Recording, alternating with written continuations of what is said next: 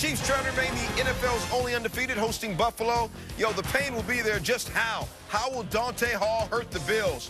Punt return, kickoff return, receiving, or rushing? Shorty can do it all. First quarter, Trent Green, have some to Dante.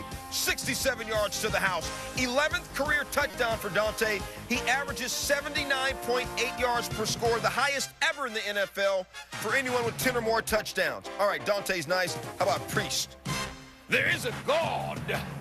I don't know what y'all came to do, but I came to praise his name. To the Priest. Three rushing touchdowns for Priest Holmes. And watch this. Watch Trent Green, the quarterback, puts a man-sized, bust in your chops block. Holmes had three touchdowns. Chiefs win.